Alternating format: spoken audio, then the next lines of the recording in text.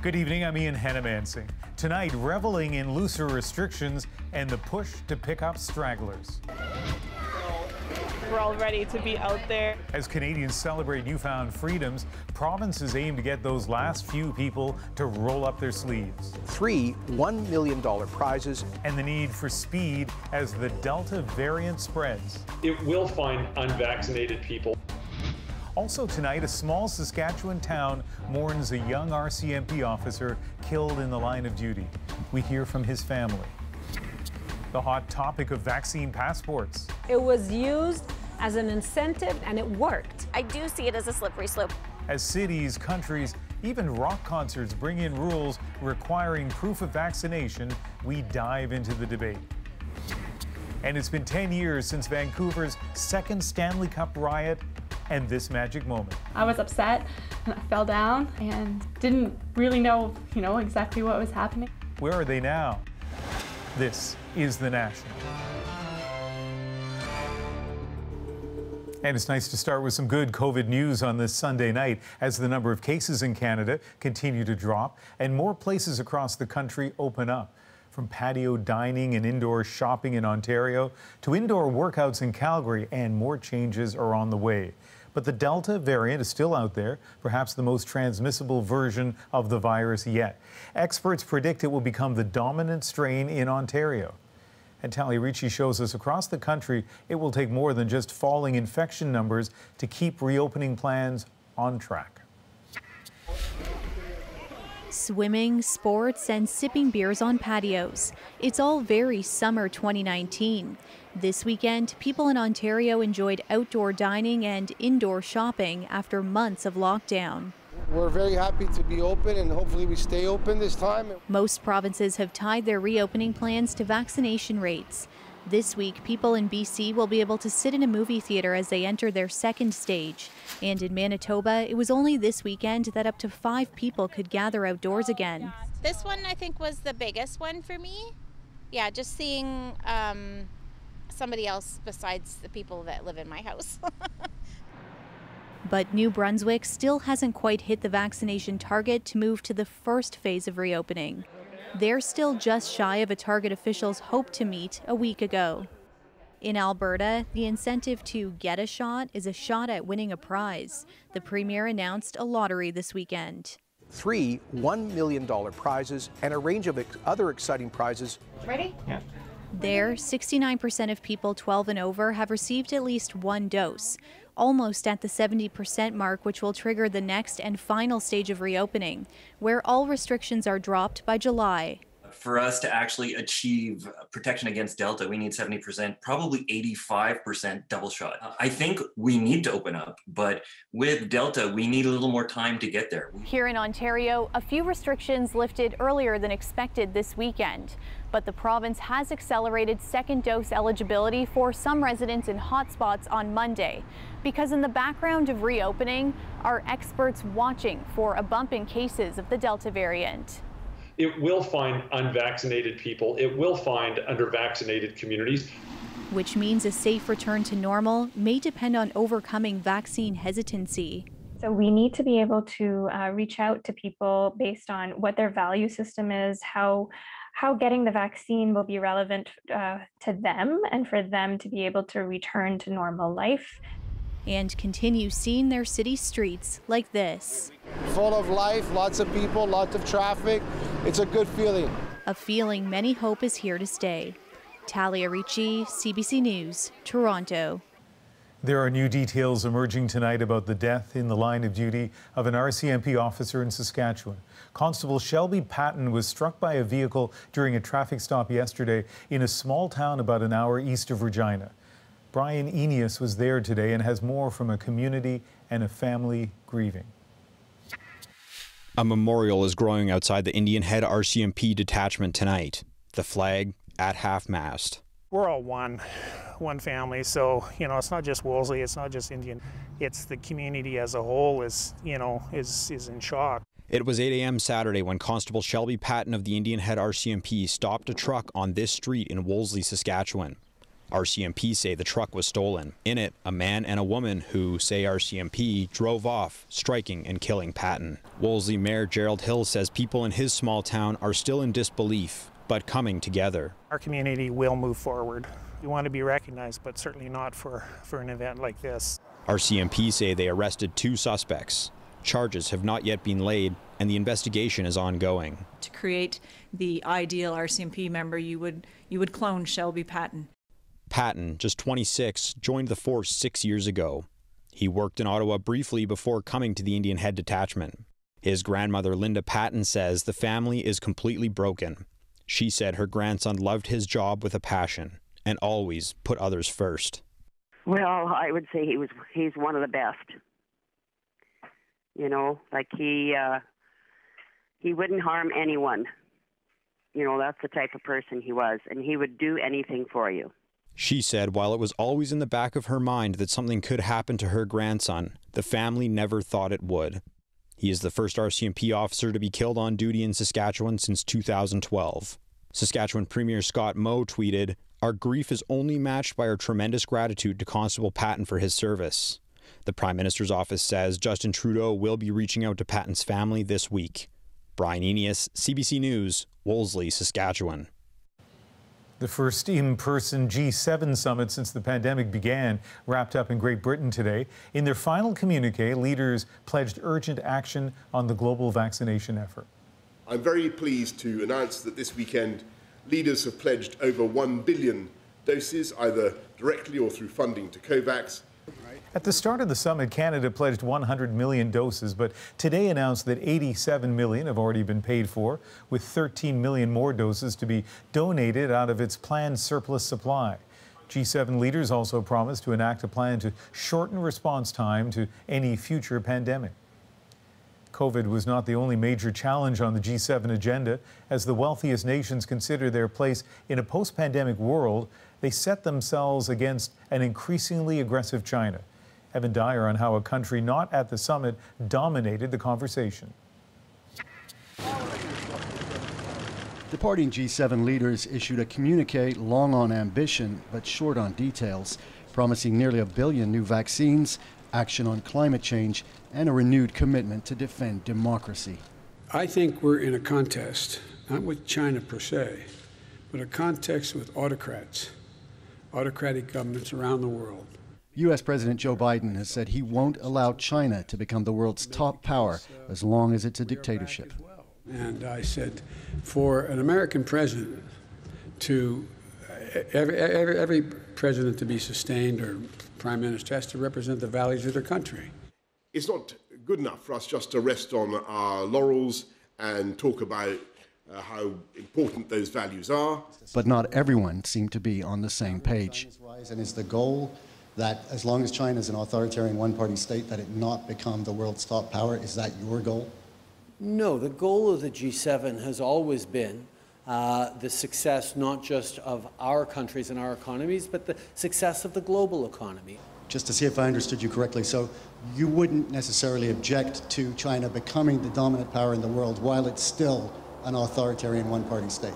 I'm, I'm not going to decode layers of hypotheticals in there. I think it's important that we be promoting uh, the rules-based system, uh, the agreed-to international laws, uh, and the opportunity for uh, everyone around the world to fulfill their potential. At home, conservatives have criticized Trudeau for not being tough enough on China, while Canadians Michael Kovrig and Michael Spavor remain in a Chinese prison. The Prime Minister says there is a consensus among the G7 nations on opposing arbitrary detention. Trudeau has now moved on to Brussels, where tomorrow NATO members, including many of the same leaders, will be hoping they can present a more united front against Russia than they did against China. Evan Dyer, CBC News, Brussels. Joe Biden used his first G7 summit to repair ties frayed under Donald Trump's presidency and to declare the United States was moving from confrontation to collaboration. Katie Simpson looks at the renewed relationship and whether it will last. It's a welcome return to the predictable, a friendly, drama free meeting between longtime allies. And it's exactly what the U.S. president wants after spending the G7 summit trying to rebuild relationships. I felt a genuine sense of enthusiasm that America was back at the table and fully, fully engaged. Joe Biden needs to convince other world leaders that Donald Trump's America First agenda was a blip and that the U.S. is prepared to resume its traditional role as leader of the free world. If body language is any indication, Biden's efforts appear appreciated.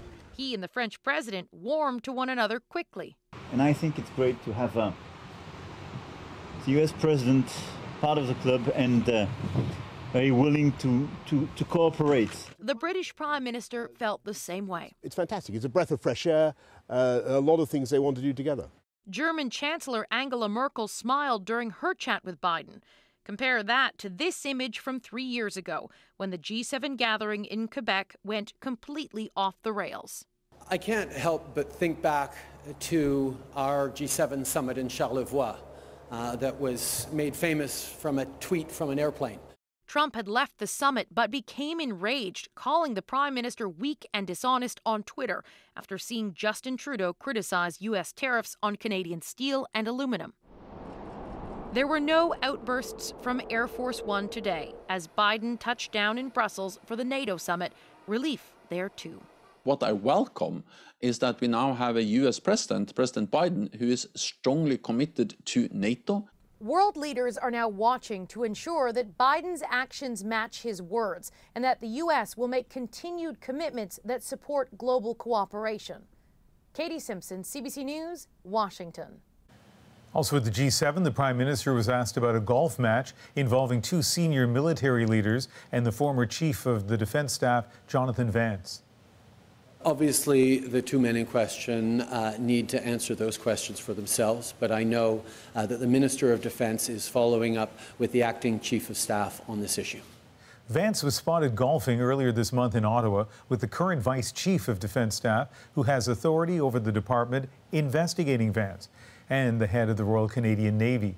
Late tonight, Vice Admiral Craig Baines issued an apology for, quote, not understanding how such a public display of support sends the wrong signal. General Vance, now retired, is accused of inappropriate behavior with women he worked with. Vance denies all allegations against him. Today brought more public demonstrations of grief and solidarity in memory of the four Muslim family members killed one week ago tonight in London, Ontario. Most importantly, we need the commitment of every person of goodwill to take that small first step, to smile, extend a greeting, read about someone who is not like you. Vigils took place in three Ontario cities today, capping off a week of public memorials across the country. Last Sunday evening, four fountains of sweetness were taken away. On Saturday, a public funeral was held in London for 15 year old Yumna Afzal, her mother, Madiha Salman, her father, Salman Afzal, and her grandmother, Talat Afzal. There was a huge crowd at the funeral. And in Mississauga, a march, a symbol of just how many people are saddened at the killings, which police say were motivated by religious hate. But the people at those marches aren't the ones who need to be reached, as the government promises to lead a fight against Islamophobia. On Friday, MPs committed to holding a summit on fighting anti Muslim hatred. Raffy Boudjikanian looks at what the battle plan might look like. We can't only address it when it leads to a crime. A week after the deadly attack that took the lives of four members of this Muslim family in London, Ontario, the calls to action have not stopped. On Friday, Parliament responded. The House call on the federal government to convene an emergency national action summit on Islamophobia. Accordingly, the motion's carried something the community wanted. I want to call for an immediate action, a national action summit on Islamophobia, where leaders come together to take immediate action on dismantling both violent forms of Islamophobia and systemic Islamophobia. So, what could that look like? After a deadly rampage through two New Zealand mosques in 2019 killed 51, a royal inquiry made dozens of recommendations, including creating a new national security agency and plans for the police to better identify and respond to hate crimes. This Canadian advocate says he wants the same uh, level of commitment here. We cannot, we cannot allow the situation to keep going just not accept. I can't keep meeting families. Canadians can't keep seeing coffins. Uh, this needs to change. It's not about my frustration or the Canadian Muslim community's frustration. This is about basic human decency. The federal government has already promised the bill to address online hate is on the way, and back in February it added some far right groups to a terror list. Ottawa says it will gather more ideas at the summit. What our government is going to do is actually work in partnership with Muslim leadership, make sure it is led by community to ensure that the government is not only responding but proactive to the needs of the community. Ottawa is committing to holding the summit before the end of summer and says it will send out invitations to all levels of government as well. Raffy Boudjikanian, CBC News, Ottawa. Tomorrow, the accused in the killings will appear in court. Nathaniel Veltman faces four counts of first degree murder and one count of attempted murder. Quebec says it will work with the federal government on a plan to help Indigenous communities in the province search the sites of former residential schools. There will be a, a circle that will be built with different uh, members of the First Nations to consult us, to, to tell us what should be done and which way it should be done also. The province says it will create a new governmental role, a facilitator who will help Quebec First Nations and Inuit communities in whatever they may want to do to investigate former residential schools in the province, including cons consulting with their communities, uncovering documents, organizing commemoration ceremonies, or conducting physical searches. As more communities begin that emotional and complex process of searching for unmarked graves, Experts are warning about companies without the right expertise who might see that as an opportunity. Karen Pauls shows us what a group of academics are doing about it. Yeah, big property here. Long Plain Chief Dennis Meeches points out some of the land he wants to search for unmarked graves. Over here, these uh, uh, spruce trees, there's are some, you know, suspicion there might be it's a process many Indigenous communities across the country are starting, ever since a BC First Nation reported the discovery of human remains at the Kamloops Residential School. Anthropologist Kisha Supernant and her colleagues have been deluged with questions on how to proceed. Some communities are prepared to move quickly, and we want to ensure that this information is available to them. So they've created resources with some of the answers, I'm here to talk about how we use remote sensing technologies to help locate unmarked graves. Supernant warns about those who might see the opportunity in the news. She's heard of communities being approached by companies offering to do surveys of their land. Most large, you know, engineering companies or geophysical companies have likely never attempted to use this to find graves. That's not a surprise to companies already working with First Nations. I've been getting calls about people asking me, hey, could I give them a weekend course on how to do GPR? Companies getting a hold of me that just purchased a piece of equipment last month and they want to go out and start gathering grave sites. There is momentum to start this work, especially with news Ottawa will distribute $27 million to help locate and identify children who never came home. We don't want um, kind of any misinformation told that could that could cause any further pain or, or upset. It's not a uh, show up and, and, and, and do them kind of job. Experts say it's important not to make rushed decisions and to support survivors throughout the process. They hope the search for unmarked graves will bring healing and not more pain. Karen Pauls, CBC News, Winnipeg. An Alberta man was looking to finalize his divorce, but instead he found himself out $1,100 and still married. It's just a license to steal in a way, I guess, yeah.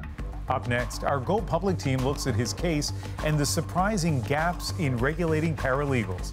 Plus, do we want to accelerate a return to normal? This is the way to do so, or one way to do so. Vaccine passports may be the price of a little more freedom, but not everyone is giving them a stamp of approval. And we went on vacation to Florida, Las Vegas, the Maritimes, Hawaii, and New York City, all, all in, in, our, our house. house. Who needs a vaccine passport when you've got your imagination? We're back after this.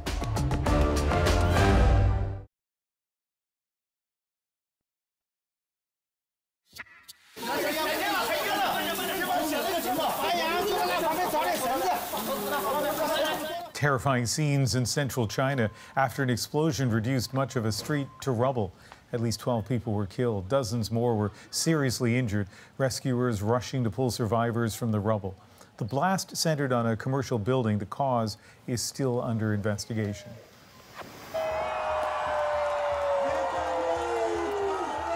In Israel tonight, cheers and celebrations on the news of the tenure of Benjamin Netanyahu. Israel's longest serving prime minister has now officially ended. But Margaret Evans also finds doubt as well as concern that the era of bitter divisions over major issues is far from over. A dignified exit it was not. Benjamin Netanyahu's allies expelled from the Knesset one after the other for bad behavior during the debate. The man himself insisting he won't be gone long. We'll be back soon. The incoming Prime Minister, Naftali Bennett, is a particularly hard pill for many Netanyahu supporters to swallow. A former Netanyahu aide, he's seen as betraying his right wing nationalist base by joining hands with Yair Lapid, the centrist politician behind an extremely broad coalition government including for the first time a Palestinian Arab Israeli party. They have little in common, says analyst Gayil Talshir, beyond their desire to usher Netanyahu out after 12 years in power. It's not just Netanyahu, the person, but the kind of politics that uh, Netanyahu brought uh, with the, the, incitement and the hate speech and uh, the uh, divide and rule between the different uh, groups and sectors in uh, Israeli society. Israel has seen four elections over the past two years, a reflection of a society not just divided, but fractured into many parts. I don't know somebody better than Netanyahu. You know, anyone will be better than this corrupted man there that destroy Israel for pieces. Israelis say political stalemate has meant many issues have simply been ignored like transportation, health, education. But some issues, including the elephant in the room, the Israeli occupation, are to be avoided, according to coalition leaders, if they want their government to survive. Pro settlement Bennett, for example, doesn't believe in an independent Palestinian state, unlike some of his partners.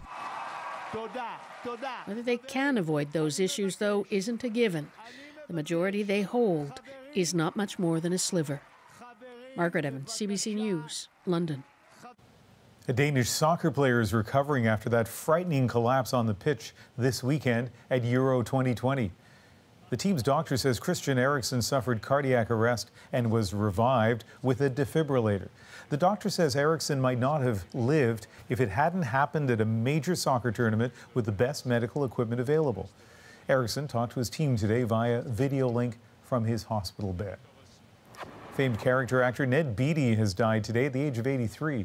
He was perhaps best known for his roles in Deliverance, Network, and Superman, his long career spanning both screen and stage. His manager says that Beatty died of natural causes, surrounded by friends and family. An Alberta man is going public tonight. He had hired a paralegal for his divorce, but discovered he was still married, and the only thing he had parted with was his money. And it's not an isolated case. Rosa Marchitelli on why hiring a paralegal in many parts of Canada can leave clients with questions unanswered. The legal papers for Aaron Penman's divorce are worthless now. The paralegal he hired a few years ago filled them out wrong and didn't even file them with the court. Instead, Penman says Nyasha Muyambo gave him a fake file number so Penman would think the job was done. $1,100 later, the money was gone, and Penman was still legally married. And then the excuses, uh, he got harder to get a hold of, refused to talk to me, and eventually he blocked my phone number. Muyambo didn't answer any of Go Public's messages either. Nothing. No answer. Hard man to get a hold of. And at the business address on his website, the house is cleared out. He's also wanted by police after another client complained he did the same thing to him. So currently, um, Mr. Nyasha Mwambo has a warrant uh, for theft or sorry, fraud under $5,000. Unlike lawyers who are regulated by provincial laws, in many parts of the country, paralegals are not. So there's nowhere to go to find out if a paralegal is trained, insured, or even honest, and nowhere to turn if there's a problem. That has paralegals in some provinces asking to be regulated, worried that the reputation of the entire profession is suffering because of a problem few literally anybody can walk out their door at any time and say, Oh, I'm a paralegal and I can help you with your legal problem. And these people in the public who are being taken advantage of, they've got no recourse. Some provinces, like Manitoba and Saskatchewan, are looking at regulating. Ontario is the only one that already does. In BC, paralegals have some oversight working under the supervision of lawyers. But Alberta's government, where Muyambo was last operating, is dead set against new rules. That's disappointing to Penman. Something's got to be done. It's just a license to steal in a way, I guess, yeah. He says he's all but given up trying to get his money back. Rosa Marchitelli, CBC News, Calgary. Ten years ago this week, the streets of Vancouver erupted. Coming up, lessons from the Stanley Cup riot from those who were on the streets. Plus, the lockdown was so long, I think people realized that it was worth it. The debate over vaccine passports and the view from a country that has already used them successfully. That is coming up next. But first, COVID grounded thousands of planes around the world, but what a difference a year makes. Case in point, a Delta jet was recently prepped for return to service after a long period of storage in the American Southwest. That's when the pilot found this note left by a colleague 435 days ago, a kind of COVID time capsule. It's March 23rd. We have just arrived from Minneapolis. Very chilling to see so much of our fleet in the desert. If you are here to pick up, then light must be at the end of the tunnel. Indeed, thanks to soaring vaccination rates, the North American airline industry is now rebounding as travel returns.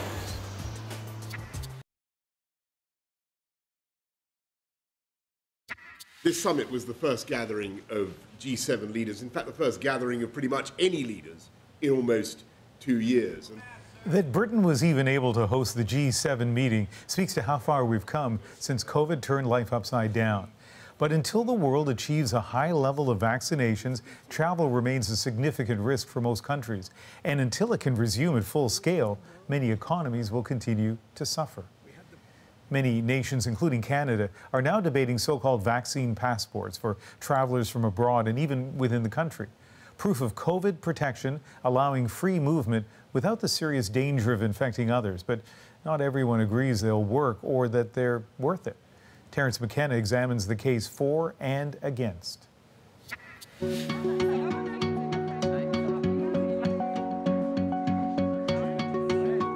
Back in February, Israel launched its version of a vaccine passport called the Green Pass. Everyone who wanted to get into indoor concerts, sporting events, or even restaurants and gymnasiums had to show proof that they had been vaccinated. That could be a piece of paper or a document on your phone with a barcode that could be verified, but seldom was. There was apparently no evidence of forgery. Jerusalem's former deputy mayor and Knesset member Rachel Azaria says there was some skepticism at the beginning but people quickly accepted the system.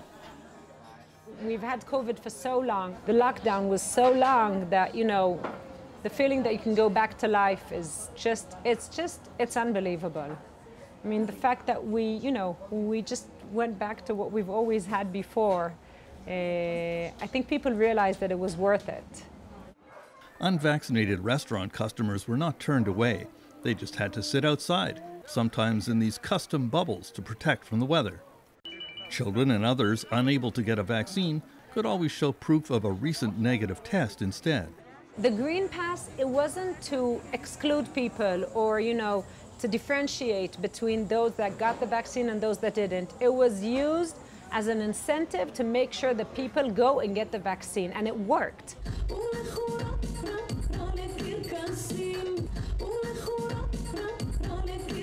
Now, Israel has one of the highest vaccination rates in the world, around 60% of the population with both doses. Last week, the country was celebrating Pride Day, and things looked almost back to normal. Canada is considering a similar vaccine plan. What advice would you give? To give people the feeling that they're part of a community and that it's a communal effort. It's not only for yourself.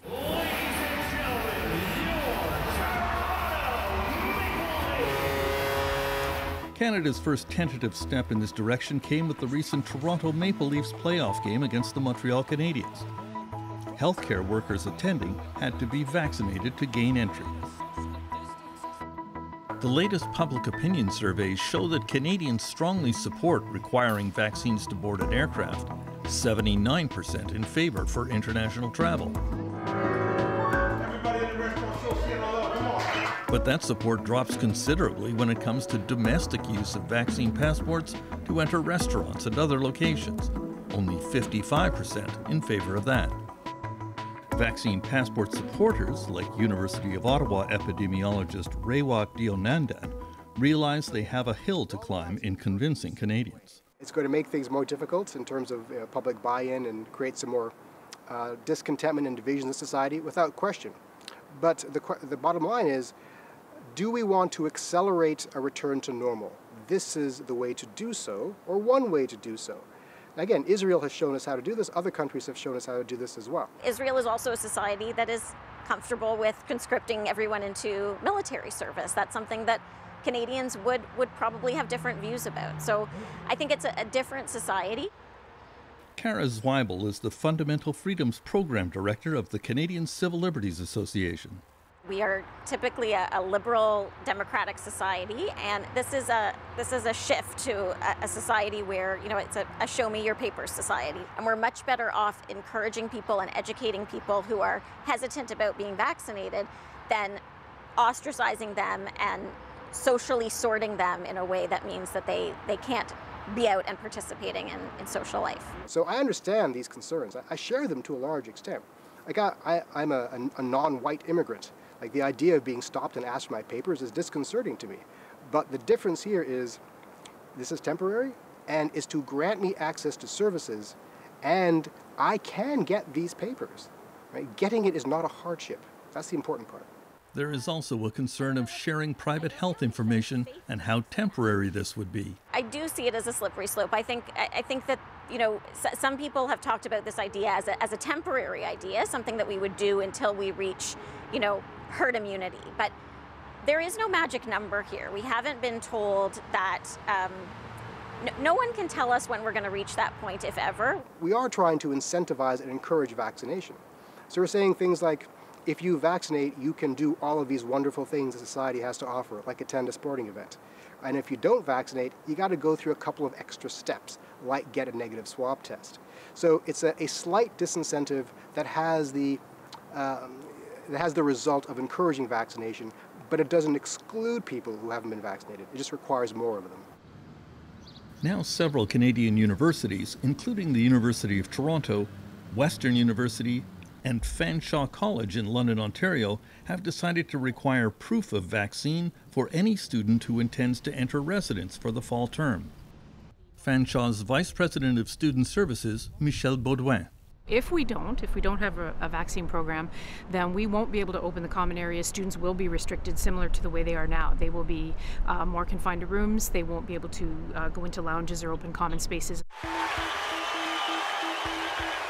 Bruce Springsteen is returning to Broadway with his one man show in July. Only fully vaccinated people will be allowed in. Torres rips one in the air, deep left field. New York State has implemented the Excelsior Pass, which will allow vaccinated people to attend large sporting events and movie theaters. Meanwhile, Governor Ron DeSantis has outlawed vaccine passports in Florida, and many red state governors are moving in the same direction. We followed freedom, and that's the reason why Florida's doing better.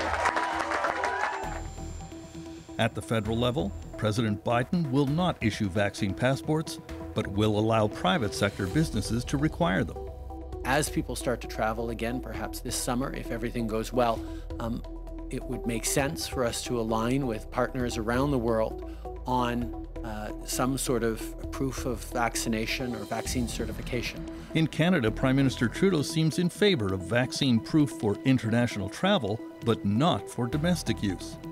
While his chief science advisor, Mona Nemer, totally supports the idea. The provinces are split. There is no mandatory vaccines and no vaccine passports in Alberta, and nor will there be a period full stop. Alberta's Jason Kenney is totally against, along with Bonnie Henry and the BC government, while Nova Scotia's Premier Iain Rankin and the Quebec government are all for it. I don't see why we could not have, as I mentioned earlier, what we call the QR code. Vaccine passports are almost certain to appear in Canada for international travel, but it is anyone's guess how extensive will be their domestic use. Meanwhile, back in Israel, the Green Pass system was suspended on June 1st. With daily case numbers in the teens, it is no longer required there. Terence McKenna, CBC News, Toronto.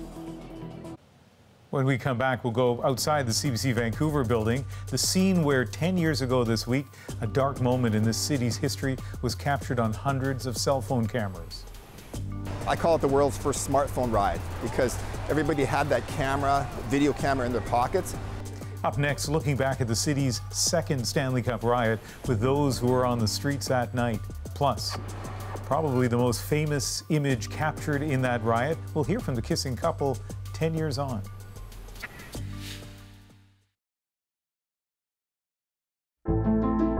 I'm Jamie Poisson, and tomorrow on CBC's daily news podcast, Front Burner, as much of Canada begins easing pandemic restrictions, we look into the Delta variant, a COVID strain that's concerning epidemiologists and popping up all over the country. Subscribe wherever you get your podcasts. The scene just outside our CBC Vancouver studios 10 years ago this week. For the second time in 17 years, the Canucks lost in Game 7 of the Stanley Cup Final and for the second time, downtown was engulfed in a riot. It is just after 8.30. The game ended about an hour ago, and this is the scene on Georgia Street, about three blocks away from Rogers Arena. Ten years later, the block looks a lot different. This evening, we're going to talk to three people who were on the streets during the riot. And let's begin with our exclusive interview with the police chief at the time, Jim Chu. In 1994, Chu was a sergeant at the corner of Robson and Thurlow Streets where that riot began. In 2011, he was the chief, and again near the flashpoint. I was about four blocks up the street at the edge of the crowd. But while police were once again overwhelmed by drunk, violent crowds, this time there was a big difference in bringing rioters to justice cell phones. It had a huge influence in our success. I call it the world's first smartphone ride because everybody had that camera, video camera in their pockets. Um, you know, I saw different pictures where a, a guy was throwing a uh, makeshift Molotov cocktail and you had 11 people taking his picture.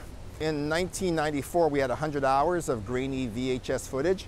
And uh, in 2011, we had over 5,500 hours of uh, high quality video. So you can stop it, you can zero in faces, you can enlarge it, plus 30,000 photographs. And uh, so our ability to track down the riders after was enhanced by all the citizens that were out there taking footage. You know, the big question a lot of people have, if, if the Canucks make it to the Stanley Cup final again and lose, what are the chances we'll go through this again? If you asked me that question in 2012, after we had massive amounts of publicity where we uh, uh, identified riders, where we had public campaigns where riders' pictures were shown through the news media, through posters. I would have said unlikely because the message got out that uh, if you riot in today's day and age, you'll be caught. But then after watching the Washington, D.C. riots, where again everybody had cameras and news footage and uh, surveillance video, and people just rioted anyways, it's hard to explain what happens when people get into uh, a crowd mentality. And some of these riders told us, uh, I got caught up in the moment. One of the reasons I want to talk about this still is uh, there's whole, a whole new generation of young people across Canada who maybe were five, six years old when the Vancouver riot occurred. Now they're 17, 18 years old. They should remember that uh, with so much footage out there and so many uh, cameras, you're going to get caught. And with social media now, your life's going to be ruined. Uh, I was actually Googling a young offender uh, today because I wanted to know if his name was still on social media, and it was. Now, obviously, the uh, news media and the criminal justice system are not allowed to publish his name, but with the internet now, it's there forever. So more than 30,000 pictures from riot night, but Jim Chu says that when he talked to some U.S. police chiefs afterwards, they asked about one photo, the kissing couple. So we tracked them down to ask them about that night and what came next. In the chaos and confusion, this amateur video captured an anonymous couple falling to the pavement and police aggressively trying to get them off the road. But from street level, through the lens of professional photographer Richard Lamb, a single frame made the moment seem romantic. And it's a romance that has endured. Ten years later, the kissing couple is married. They have a young child. Canadian Alex Thomas and Australian Scott Jones now live in Fremantle, near Perth, far from home and far from the frenzy of the first few hours after the picture was published in papers around the world. I guess we didn't really know much about going viral. It's not something that had ever crossed our minds or even a phrase that, you know, now it's so commonplace, but I don't think either of us really had even heard that phrase at that point. Or the ugly side of going viral. False rumors the picture was staged. The Jones, who did some stand up, was seeking publicity. I'm not very good. I can't be like we can have an, an international audience. superstar now. I'm not going to be booking my own one hour gigs. Like I did a five minute piece at an open mic night. Um, I'm not. I'm not a comedian. To try to set the record straight, they chose to do one Canadian interview 10 years ago with us on The National. I was upset and I fell down and didn't really know, you know, exactly what was happening. I was upset. She was a bit hysterical afterwards, obviously, um, and I was just trying to calm her down. These days, Scott is pursuing his passion, not comedy, but craft beer. Alex works for the local water utility. And yes, they have the picture up on the wall of their pub, but a decade and half a world away, the fame has subsided. You know, you show people the, the photo. Like I pointed out every now and then to people um, at the bar, and some people remember the photo. Other people have no idea. You know, it'll come up at work if somebody new starts. Inevitably, someone will bring it up a couple weeks in and go, "Hey, funny story," just so we can have a laugh about it. But other than that, it's not.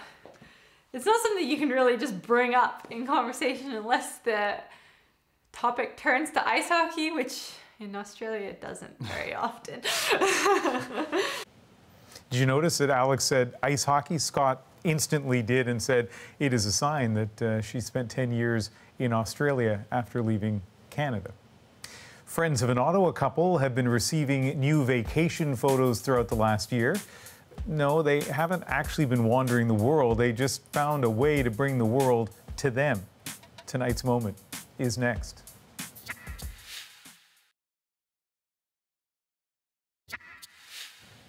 Ottawa couple Ruth and OJ Gallant love to travel. And while things are starting to open up now, the pandemic definitely cramped their style over the last year, so they got creative.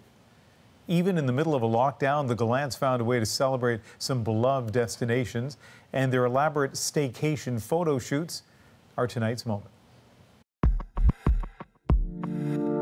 Hi, I'm Ruth, Hi, I'm OJ. and we went on vacation to Florida, Las Vegas, the Maritimes, Hawaii, and New York City, All in our house. The Florida beach one was my favorite. I, I actually we kept it up. we kept it up for a couple of days without taking the scene down. It was great to get up every morning, walk into my living room, sit down in a beach chair, and run my toes and my feet through the sand and close my eyes and just pretend I was on a beach in Florida somewhere.